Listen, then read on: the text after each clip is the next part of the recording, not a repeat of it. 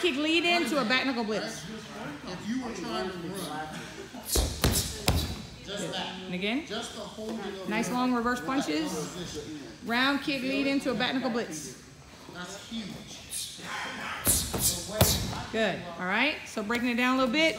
The first thing we're doing is using the round kick to set up the back knuckle. So instead of putting your round kick in a normal fighting stance, you put it back beside your other foot. You try and set here, There. Okay. And then we're gonna round kick back knuckle to build the combo, and that makes that extension. And then we're gonna add the punches. So go ahead and kind of slow, but break it down. Pop, punch, stepping, punch again. Good. All right. And you don't have to take that second step unless you just have to. All right, one more time, kind of slow. So the round kick back knuckle, the reverse punch comes, pulls through your step, one more reverse punch. Good. All right, now put it back together fast.